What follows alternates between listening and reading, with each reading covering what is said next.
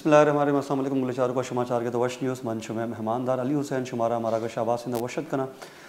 गुलचारों का मर्ची है टॉपिक हस्ते जनरल इलेक्शन। सिंध तो का भी इलेक्शन है अष्ट फरवरी का इलेक्शन है, पार्टी पोजीशन चार गई है। इदा सूरत हाल बास ख़राब हस्ते सैलाबा चेरन बल्कि वोटर हस्ता यानी मोटिवेशन लेवल कुजा में पार्टी है। पोजीशन स्ट्रॉग है कुजाम पार्टी पोजिशन हस्ते वीक है। मर्ची दुरो सूरत हाल ने सरा मारा गपकन गए इधर दूर एक शॉर्ट ब्रेक ब्रेक चलन गपकन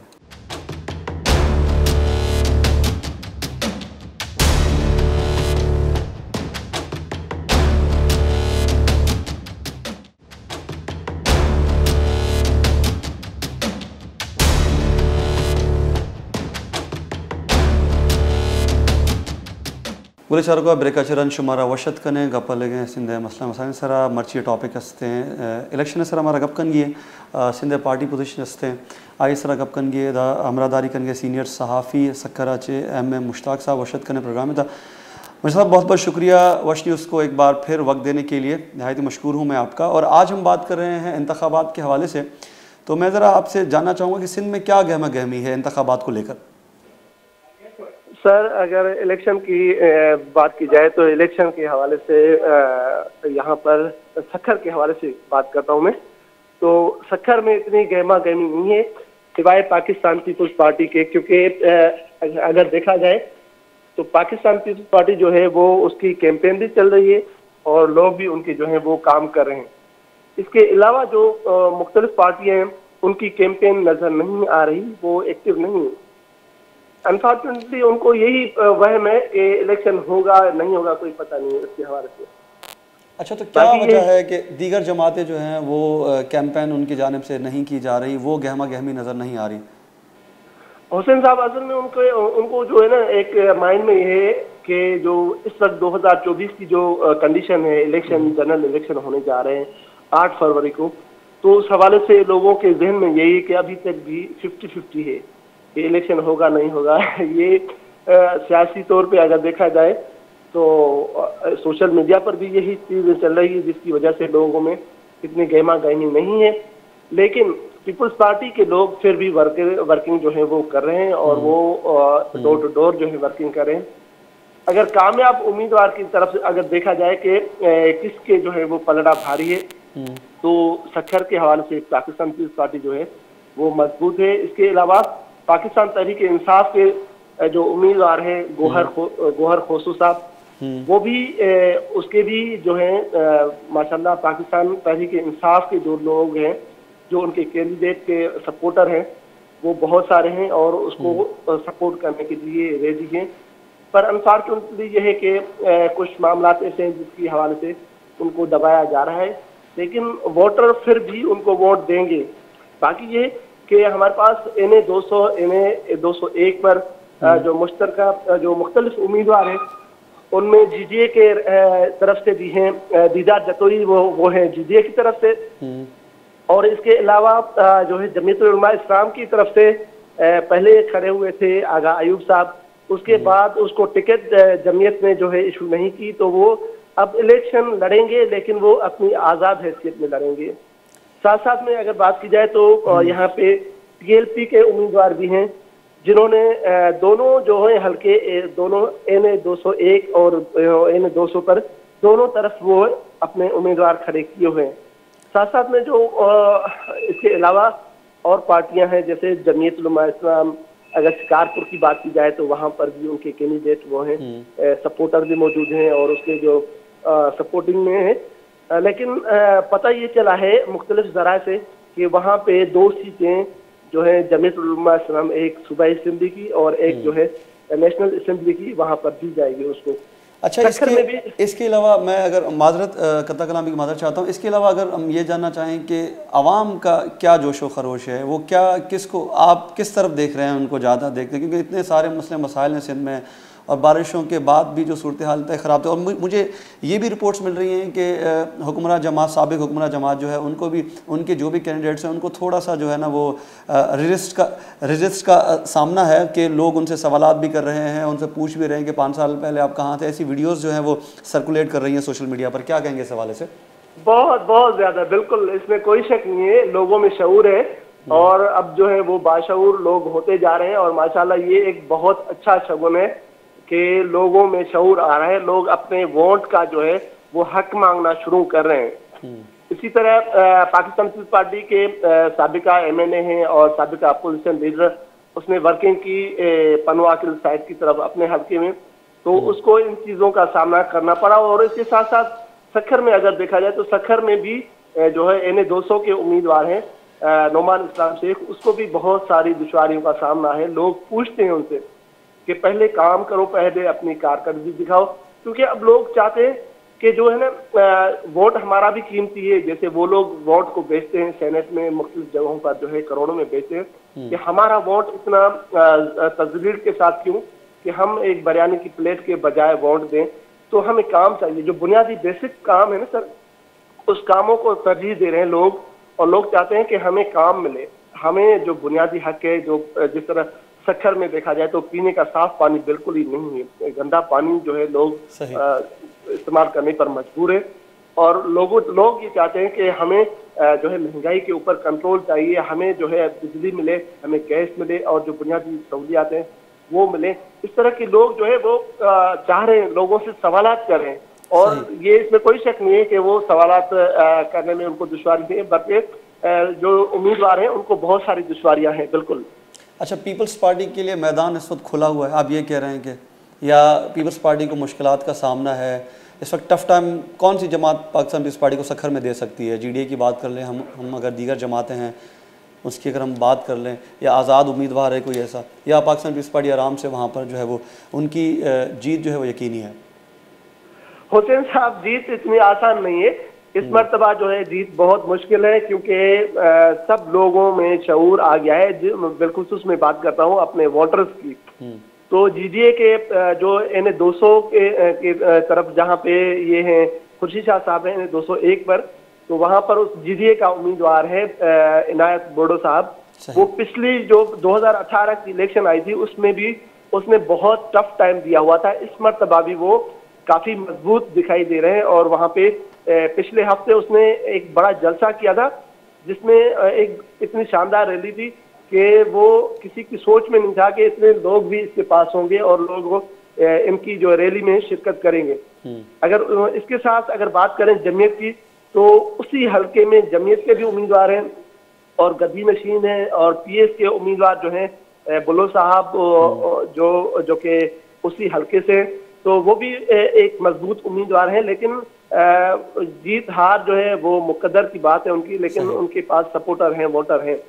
सखर की बात करें तो सखर में इन 200 पर तो टफ टाइम बहुत ज़्यादा है पाकिस्तान पीपल्स पार्टी के कैंडिडेट को और पी एस चौबीस पी एस पच्चीस और पी एस तेईस पर जो है बहुत ही टफ टाइम मिलेगा इस टाइम पाकिस्तान पीपल्स पार्टी को।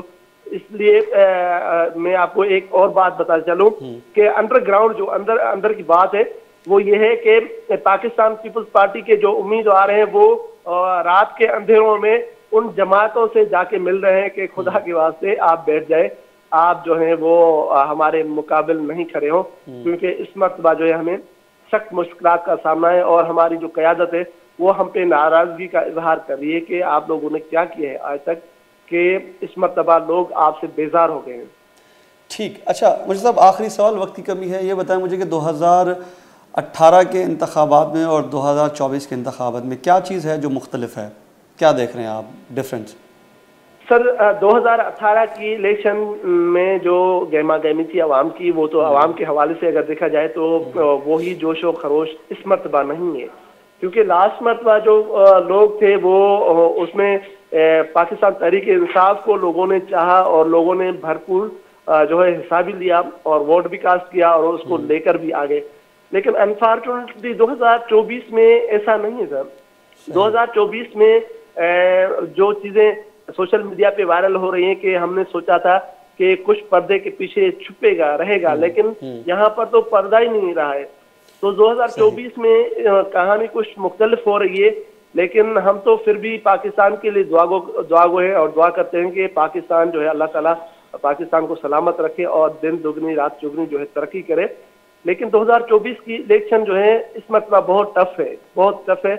और आने वाले वक्त में खुदा न खासा कुछ हो सकता है पता नहीं हमारा दिल इस तरह क्यों कहता है कि कुछ ऐसा होगा जिससे इलेक्शन के मामला को जो है दफ़ा दफ़ा भी किया जा सकता है। लेकिन फिर भी हम अल्लाह ताला से दुआ करते हैं कि ऐसा ना हो। ठीक है साहब बहुत बहुत शुक्रिया अपनी कीमती राय से हमें आगाह करने के लिए। आपने तमाम तर सूरत हाल हमें बताई कि सखर में क्या सूरत हाल है कौन सी पोलिटिकल पार्टी की जो पोजीशन है वो मज़बूत है। साथ साथ पाकिस्तान पीस पार्टी को भी मुश्किल का वहाँ पर सामना है। तो बहुत बहुत शुक्रिया। एक बार फिर से वश न्यूज़ को वक्त देने के लिए गुलचार को इधर ज़रूर एक की शॉर्ट ब्रेक ब्रेक का चरण कंटिन्यू करें।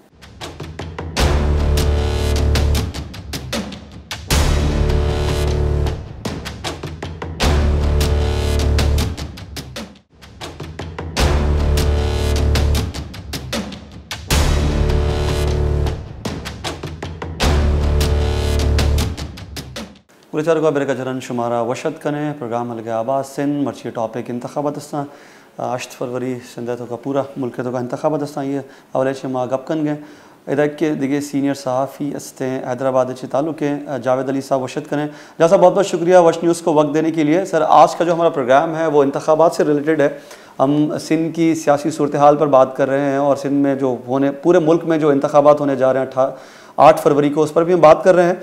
तो हैदराबाद में क्या गहमा गहमी है इंतबात को लेकर? सबसे पहले तो अली साहब मैं वश टीवी का तहे दिल से शुक्रगुजार हूँ कि ये वाइट चैनल है जो हैदराबाद के मजलूम शहरियों के मसाइल और हल के सिलसिले में शहर को पूछ लेता है। आ, इस वक्त ज़िला हैदराबाद में आठ फरवरी के आम इंतबात के हवाले से सूरत जो है वो इंतहाई मायूस कन नज़र आती है और आम लोग सियासी जमातों के माजी के किरदार से सख्त नाला है जिसकी बुनियादी वजह वादा सीवरेज गैस कंपनी के शहरियों पर मजालिम के पहाड़ तोड़ना है हम्म। हैदराबाद की कोई सड़क सलामत नहीं सीवरेज निज़ाम का कोई तस्वुर ही नहीं जिला हैदराबाद में कौमी असम्बली की तीन और सूबाई असम्बली की छह नशस्तों पर मुख्तलिफ़ सियासी जमातों के उम्मीदवार जीतने के दावे तो करते नज़र आते हैं मगर हतमी नतज इलेक्शन कमीशन के नोटिफिकेशन के इजरा से ही माने जाएँगे हम्म। हैदराबाद में जो बड़ा मुकाबला है वो M Q M Peoples Party और पी टी आई के माबेन है। मगर पी टी आई से इंतबी निशान बल्ला छीने जाने के बाद इतनी आइडियल नज़र नहीं आती जितना कि पहले तस्वुर की जाती थी। हम्म। कौमी असम्बली के हल्के एन ए दो सौ बीस पर एन क्यू एम के वसीम हुसैन और पीपल्स पार्टी के वसीम राजपूत मध्य मुकाबिल है। जबकि इसी हल्के से पीटीआई के उम्मीदवार फैसल मुगल जो डिस्ट्रिक्ट बार एसोसिएशन के जनरल सेक्रेटरी भी हैं उन्होंने गुजशत रोज बुध से पार्टी वर्कर्स और हामी वकला के हमरा सेशन कोर्ट और एसएसपी ऑफ़िस के सामने मरकजी शाहरा पर धरना दिया हुआ है जो आज भी जारी है हम्म। उनका कहना है कि उनकी पार्टी की सुबह असेंबली के तीन उम्मीदवारों के घरों पर पुलिस ने चढ़ाई करके खौफ हिरास किया और तीन उम्मीदवार गायब कर दिए गए हैं जिनका कुछ पता नहीं चल पा रहा कि वो कहाँ हैं उन्होंने कहा कि ये प्री पोल रिगिंग की जा रही है कि इंतबी निशान बल्ला छीन कर हमारे उम्मीदवारों को टी शर्ट लैपटॉप चिड़िया जैसे निशान इलाज कर दिए गए हम्म। अच्छा नितिन साहब ये वैसे भी ये पहला मौका है कि शहरी इस इंतबात पर तवज्जो देने के लिए तैयार नहीं नज़र आते अक्सरियत ये कहती नज़र आती है कि इंतबी नशस्तें किसी पार्ट किस पार्टी को देनी है इसका फैसला मुख्तर कुतें पहले ही कर चुकी है। सही। अच्छा जैसे मैं ये जानना चाहूँगा कि 2018 के इंतबात में और 2024 के आम इंतबात में क्या फ़र्क आप देख रहे हैं इनमें? अगर हम मुआजना करें तो गहमा गहमी के हवाले से अगर हम देखें तो आवाम में वो वो वो जज्बा वोट कास्ट करने के लिए वो जज्बा वो गहमा गहमी नज़र आ रही है आपको? नहीं बिल्कुल नहीं जनाब। 2018 और उससे पेशतर जितने इंतखाब हुए तो उसके अंदर लोगों को बड़ी कमजोशी नज़र आती थी। हम्म। लेकिन एक दो हज़ार चौबीस के जो आठ फरवरी के इंतबात के हवाले से जो यहाँ पर कुछ पता ही नहीं चल पा रहा है कि कोई इलेक्शन भी होने जा रहे हैं शहर में या ज़िले में लोग अपने मतलब अपने मशागिल में मसरूफ हैं हम्म। सियासी जमातें और ये ग्रुप है कैंडिडेट्स हैं सिर्फ़ फर्दन फर्दन दुकानदारों की तंजीमों के पास चले जाते हैं अंजुमन हम्म। ताजरान वालों के पास चले जाते हैं कुछ इनके छोटी छोटी जो समाजी तंजीम है उनके पास चले जाते हैं लेकिन लोगों का कोई अमल दखल इसमें बिल्कुल कोई नज़र नहीं आता कोई गर्मजोशी नहीं है। अच्छा तो क्या देखते हैं कि पाकिस्तान पीपल्स पार्टी की पोजीशन वहाँ पर कैसी है? वो तो जीत का दावा करते हैं कि हैदराबाद से वो नशस्तें निकाल लेंगे क्लीन स्वीप करेंगे। इस पर आपकी क्या राय है? जी इसमें यह है कि सर चूँकि ये जिला हैदराबाद में कौमी असम्बली की तीन नशिस्तें हैं दो सौ अट्ठारह दो सौ उन्नीस और एन ए दो सौ बीस। हम्म। तो इसमें से जो एन ए दो सौ अट्ठारह की जो नशिस्त है तो वो कभी इम्कान यही है कि वो पीपल्स पार्टी को मिल जाएगी। क्योंकि उसमें दही इलाके उस हल्के में शामिल है तो वहाँ पीपल्स पार्टी का वोट बैंक भी है। ठीक। तो इसे नजरअंदाज नहीं किया जा सकता तीन नशिस्तों में से एक नशिस्त पीपल्स पार्टी को और बाकी जो दो नशिस्तें कौमी असम्बली की रहती है वो एम क्यू एम की झोली में की पोजीशन मुस्तहकम है वहाँ पर। जी? एमक्यूएम की पोजीशन मुस्तहकम है दो दो हलकों में यानी कि जी जी। जी जी। एन ए दो सौ उन्नीस और एन ए दो सौ बीस। इसमें जो है ये दो नशिस्तें उनकी झोली में जो है गिराई जा सकती है। इसी तरह जो सूबाई असेंबली की जो छह नशिस्तें हैं जी। उसमें से जो है दो पीपल्स पार्टी को डेफिनेटली चली जाएँगी। जबकि तीन जो है एमक्यूएम को और चौथी भी एमक्यूएम को ही जाने का इम्कान है। अच्छा यहाँ पर पीपल्स पार्टी का तो एक वो जरा किरदार ऐसा है कि यहाँ पर शहरों के अंदर तो उतना ज़्यादा वो इन होने का मौका उनको नहीं दे पाते वोटर्स हजरात। सही। लेकिन चूँकि अभी जो बलदियाती इलेक्शन हुए तो उसमें मेयर भी पीपल्स पार्टी का हैदराबाद में जो है वो आ गया है।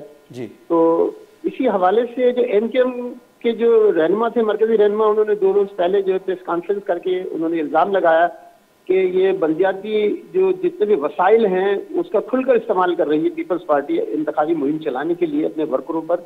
तो उनका मुतालबा ये था कि जो कराची और हैदराबाद की बलदियाती मुकामी जो हुकूमतें हैं इनको फौरी तौर पर बरतरफ किया जाए ताकि इलेक्शन पर असरअंदाज ना हो सके। सही उसके अलावा कोई तब्दीली की उम्मीद है? कोई ब्रेक थ्रू हो सकता है? कोई नए चेहरे सामने आए हैं? हाँ जी इसमें दूसरा ये कि तहरीक लब्बैक के पाकिस्तान की पार्टी है वो भी इसमें हिस्सा ले रही है। जी जी। तो और एक मरकजी मुस्लिम लीग जो है वो भी इसमें हिस्सा ले रही है।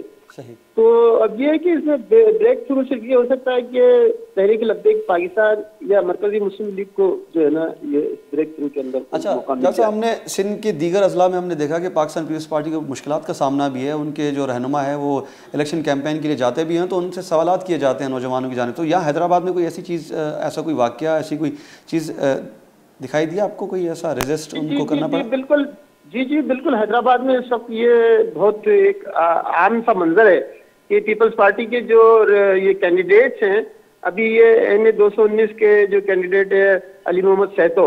जी जी। तो वहीं से टी ए सिक्सटी टू के अब्दुल जब्बार खान है पीपल्स पार्टी के वो जब एक कॉर्नर मीटिंग से खिताब करने पहुँचे तो वहाँ पर लोग उनके मतलब खड़े हो गए। उनकी पार्टी के ही वर्कर्स थे हल्के के वोटर्स थे। जी जी। तो उन्होंने उनको जो है बहुत बुरी तरीके से जो है वो झाड़ा कि कोई काम नहीं किया गया वो गुजशत पंद्रह साल से पीपल्स पार्टी जो है बरसरदार रही।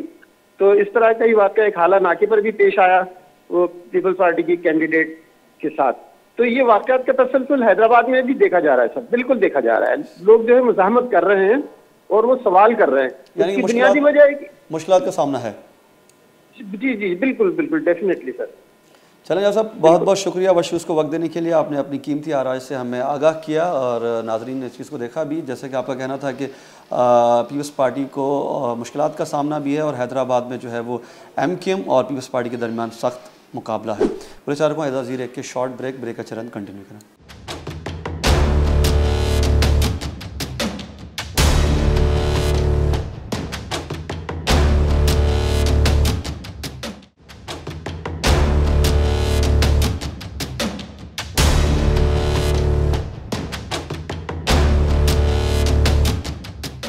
पूरे चार को ब्रेक जर शुमारा वशत कने प्रोग्राम लगे आवाज़ से मर्चे टॉपिक हस्ते इलेक्शन सर हस्ता इन सरा वोटर गप कन गिए पॉलिटिकल पार्टीज़ हस्ता कई पोजीशन स्ट्रॉन्ग हस्ते इस गप कन गिए मर्ची लाड़ करना चाहिए कि सीनियर सहाफ़ी अमरादारी कन गए हफीज़ पुलवोटो साहब वशत करें प्रोग्राम में। ताकि साहब बहुत बहुत शुक्रिया वश न्यूज़ को वक्त देने के लिए।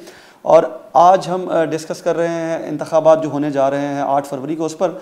तो लाड़काना में क्या अ, सियासी हवाले से गहमा गहमियाँ हैं? ज़रा इस हवाले से मुझे बताइएगा। सर जी बिल्कुल लाड़काना और कंबर शहदाद कोड़े वाले से जो है कौमी असेंबली के जो है चार नशस्तें हैं जिसमें दो नशस्तों पे एक लाड़ा एक लाड़काना की और एक कंबर शहदाद कोड़ी की नशस्त पे पाकिस्तान पीपल्स पार्टी के जो चेयरमैन बिलावल भुट्टो जरदारी साहब वो हिस्सा ले रहे हैं।